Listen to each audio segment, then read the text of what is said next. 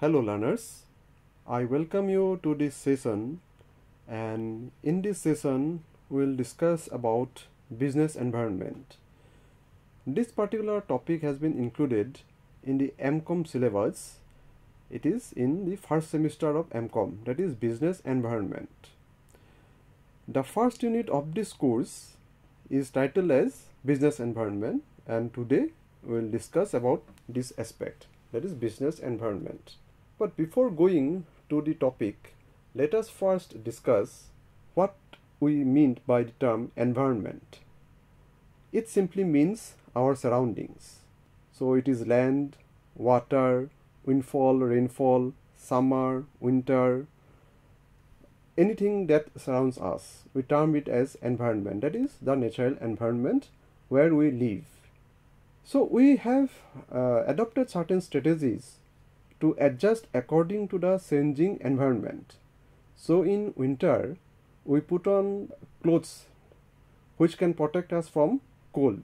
But in summer, we do not wear such type of cloth. That is the woolen clothes. So these are certain strategies that we adopt to adjust ourselves to the changing environment. So this is about environment and we can relate this to our business organizations also. Business organizations also exist within a certain environment and that environment we termed it as business environment.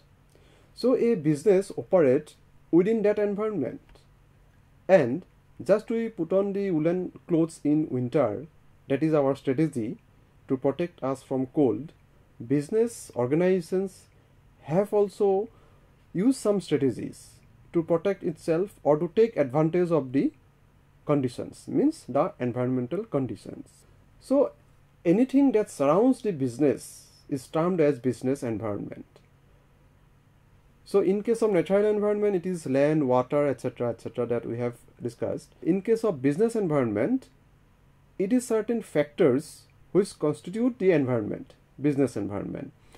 For example the economic factors then political factors, legal factors, etc.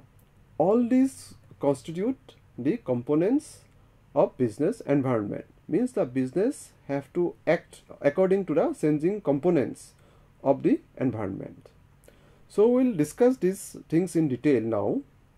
And one thing is that all these factors of the business environment may not affect all the business organization in the same way or some factors may affect all the firms within an industry in the same way. So let us go into the details. For our understanding, we can classify the different components of business environment into two main groups. Number one, internal factors or internal uh, business environment and external factors. So let us first see what is internal factors the internal factors or the environment internal environment of the business can be controlled by a business organization. So these are the factors which can be controlled by the organization. Suppose you are the manager of a business firm.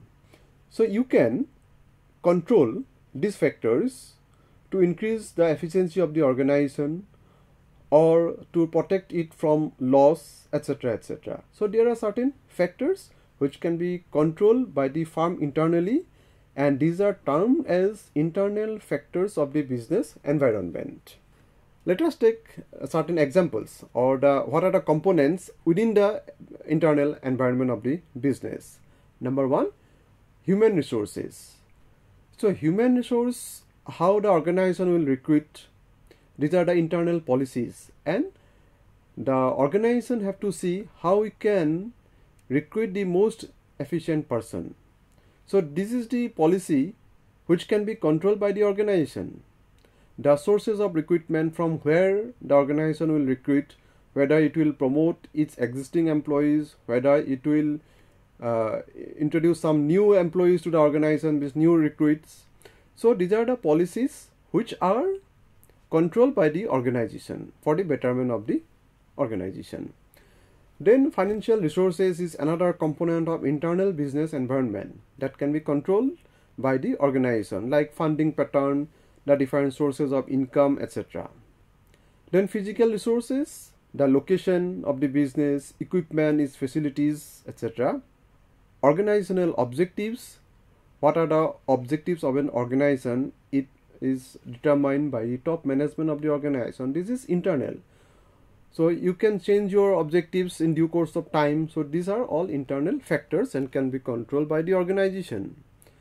Then organizational structure, whether the organization wants to centralize its decision making or it wants to decentralize its decision making, it depends on the internal business environment.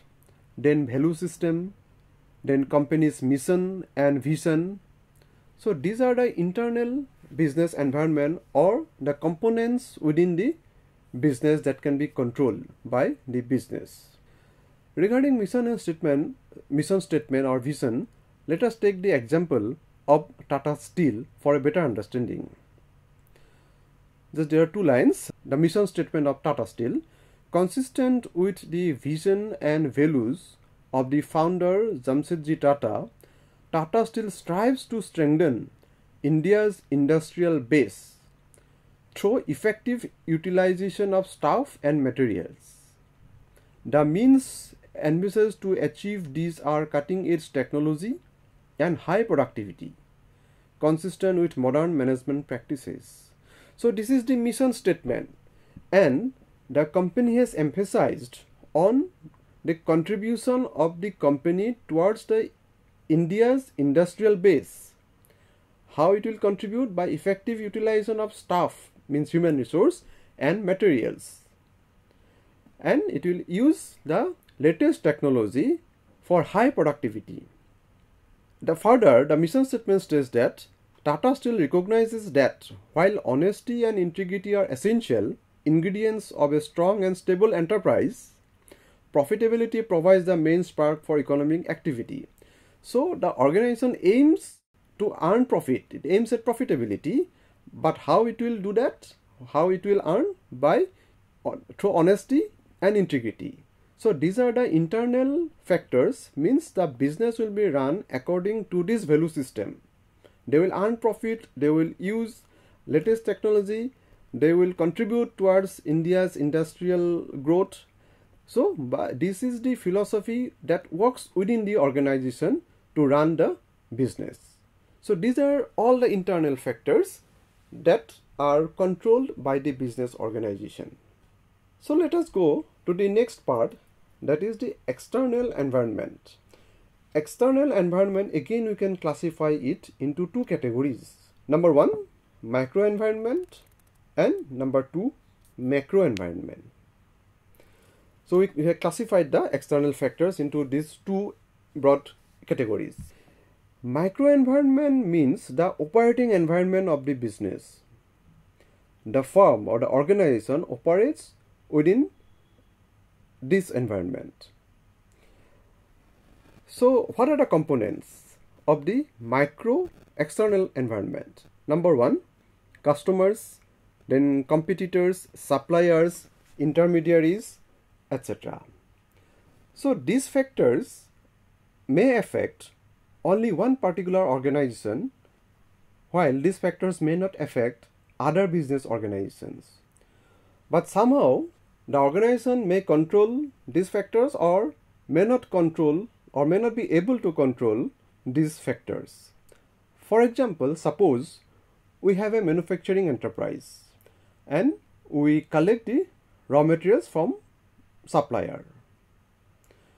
Now, in case of one supplier, means in the supplier's firm, certain labor unrest was reported and due to labor unrest, the functions of the supplier's firm has been restricted and they are unable to supply the raw materials that we want and therefore our production line also suffers.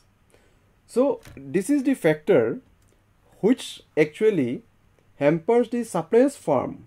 Their productivity has stopped because of labor unrest and they affect our business means they are unable to supply the raw material that we want for our production and therefore it leads to disruption in our production schedule. So this is the micro external environment.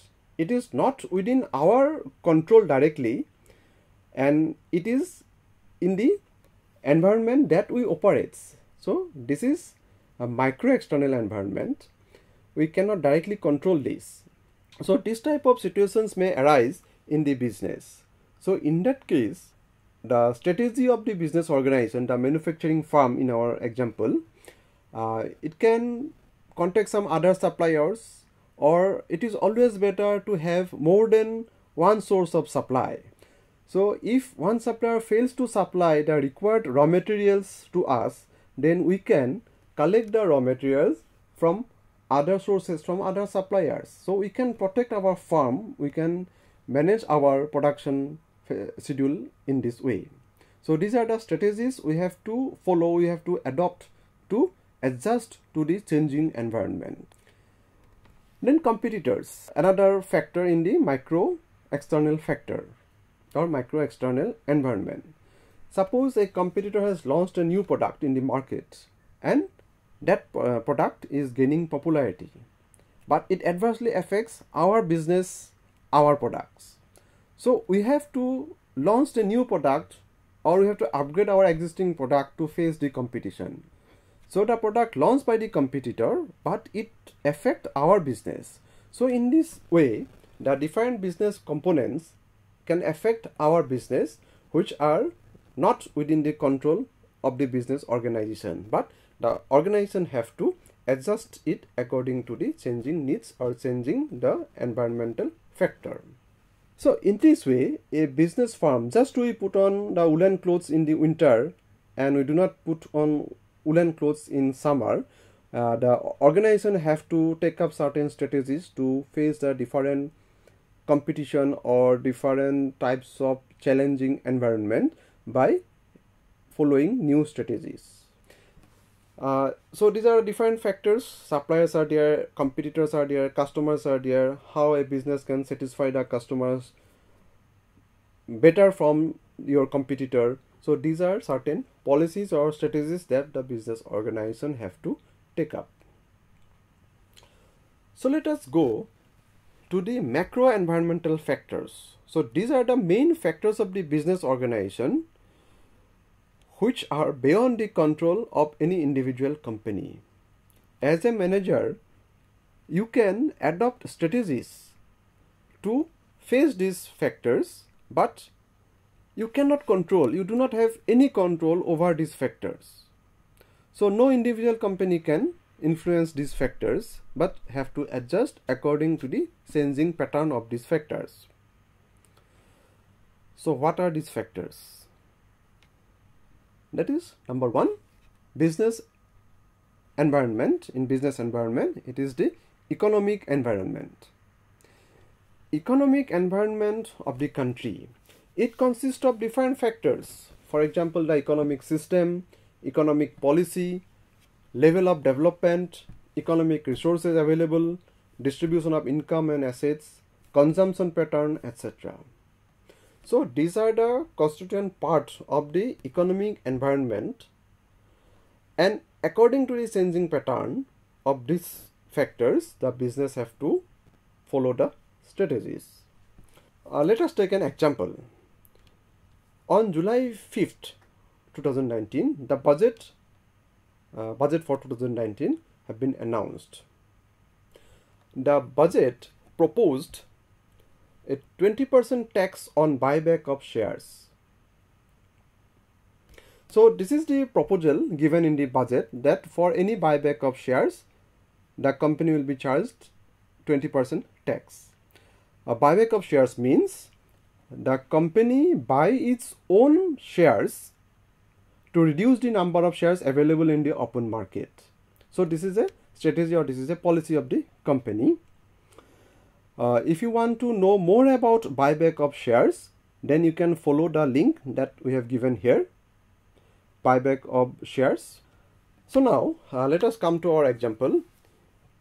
If the company have planned the strategy of buybacking of shares before the budget and after the budget the company finds that there is a new proposal in the budget that 20% tax will be charged on the buyback of shares. So the individual company cannot change this budget, but it can change or how it can reverse its decision not to go for buyback of, buyback of shares right now. So the this is the given factors. The 20% tax on buyback of shares. The company cannot change it, though it have planned for buybacking of shares. Now, what the company will do? The company may go with the plan, but in that case, it have to go for 20% tax. So it's better to reverse the policy now. For the uh, time being, it will stop this particular strategy. So in this way, the economic factors may put certain restrictions on the business decisions or business decisions are influenced by these factors. Again, certain factors may give up some new opportunities for business. That is the distribution of income assets. Increase in the spending amount at the hands of the consumer opens up new opportunities for business.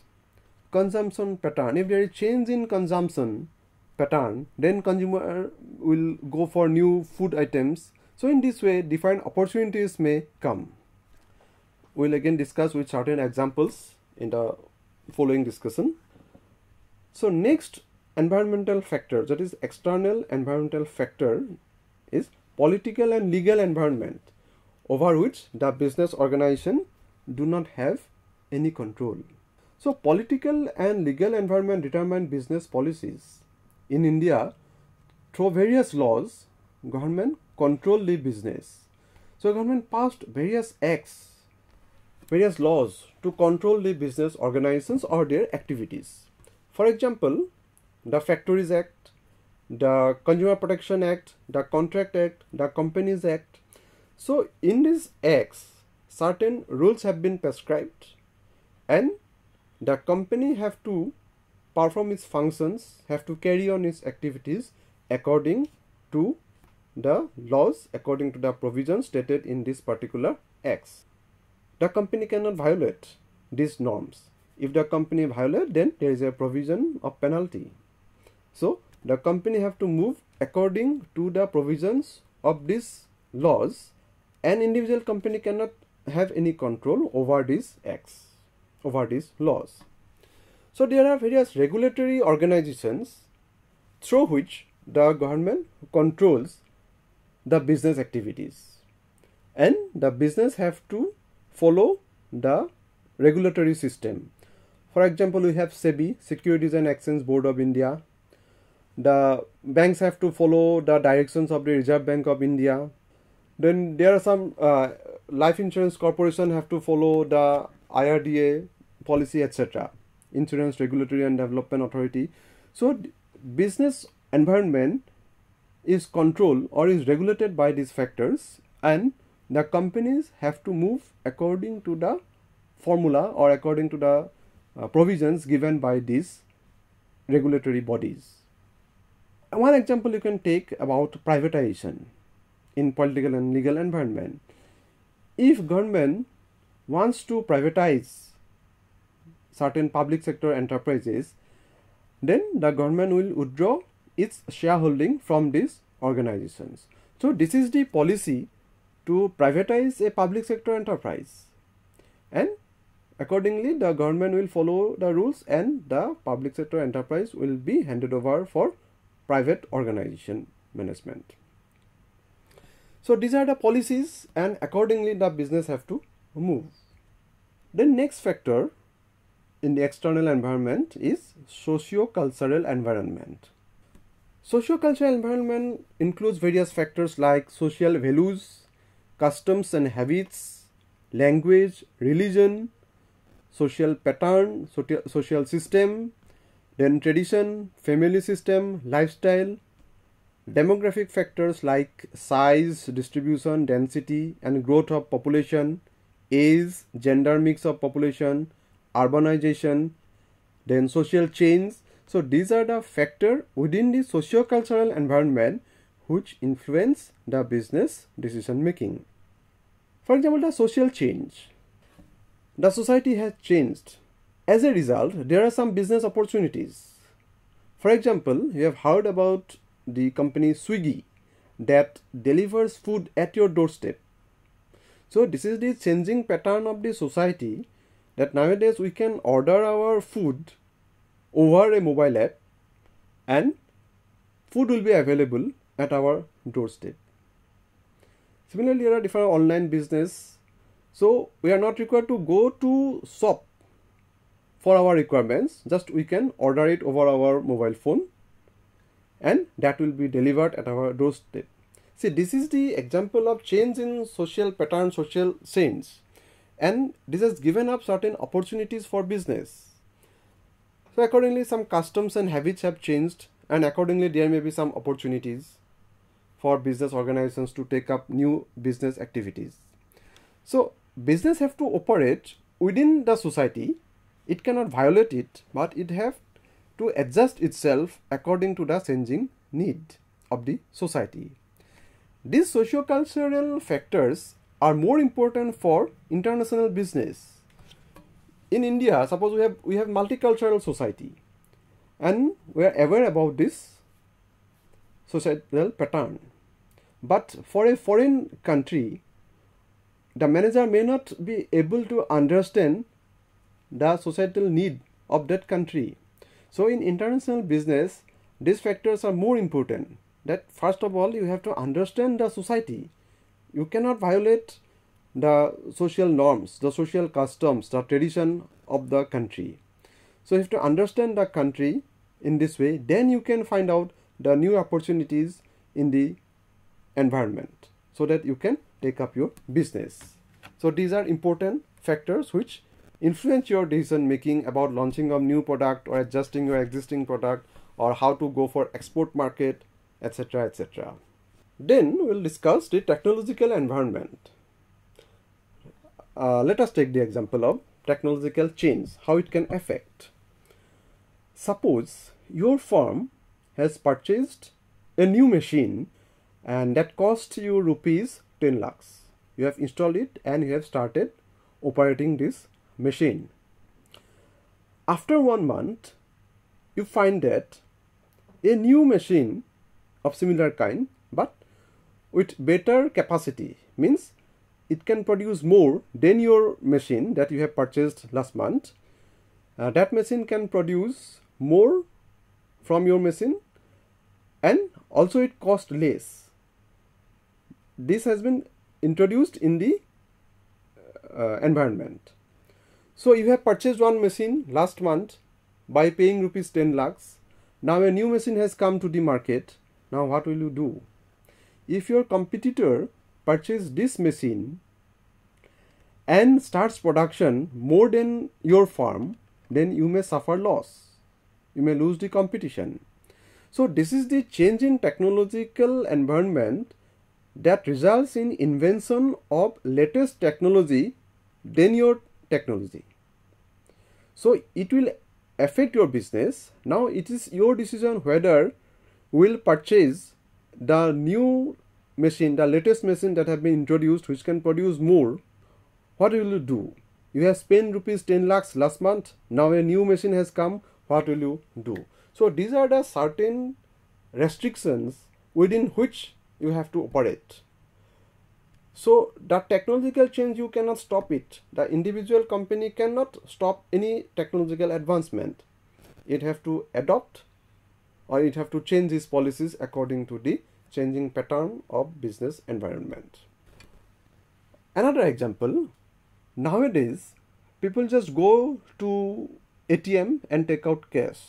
Earlier, people have to move to bank, write a check, then collect the cash and now it's all just put your card in the ATM machine.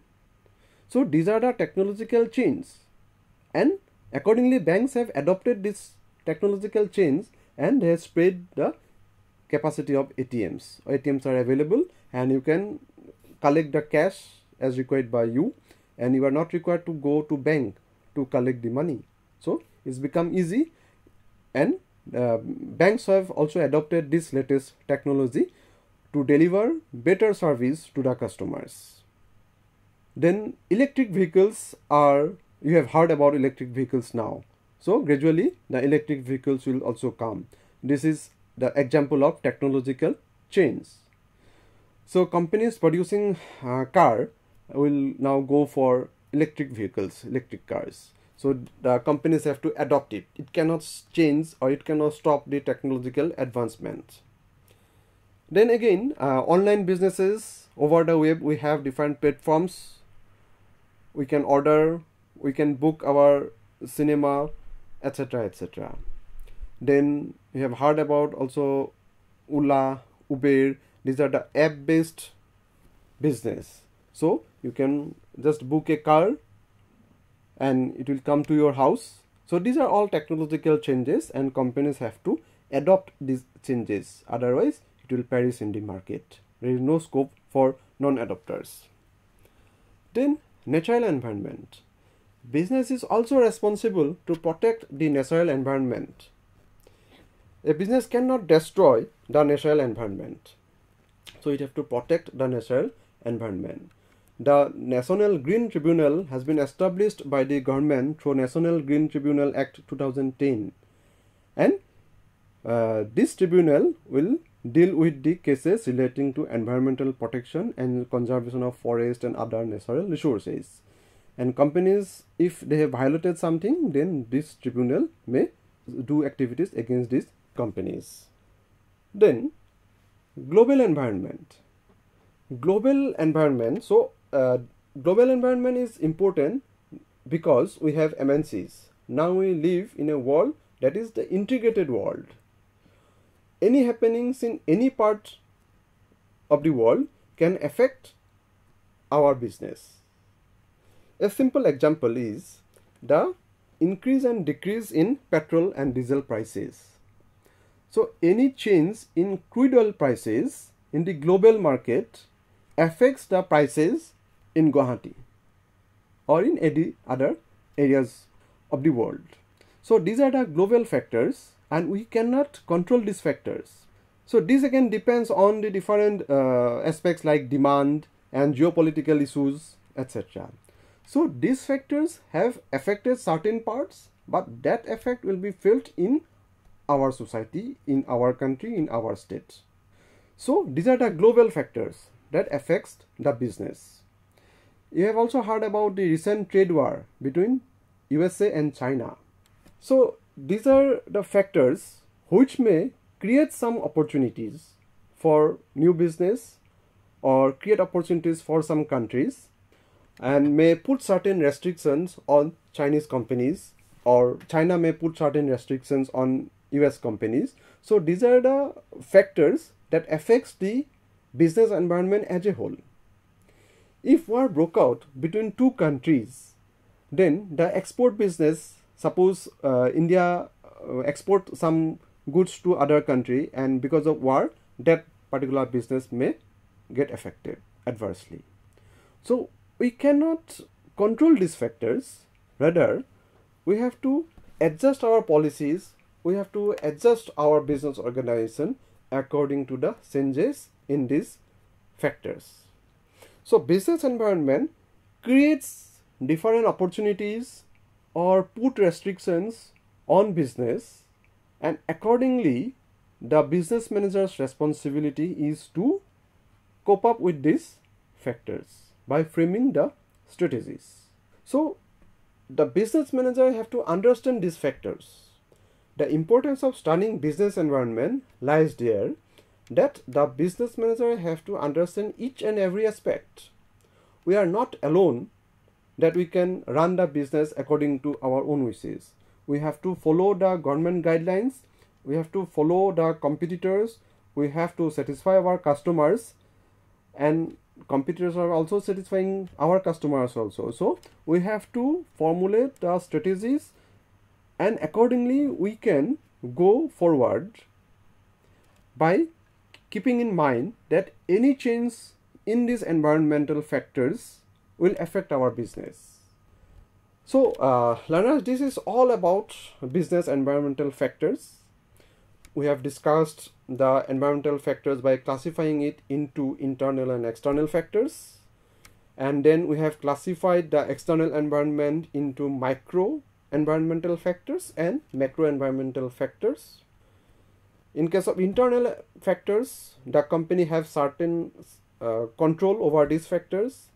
In case of micro external factors, the company to a great extent uh, are not able to control the factors and in case of external macro environmental factors, there is at all no control and therefore and accordingly the business have to perform itself by framing the uh, strategies.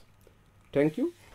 Thank you very much and we will again discuss some other issues. Thank you.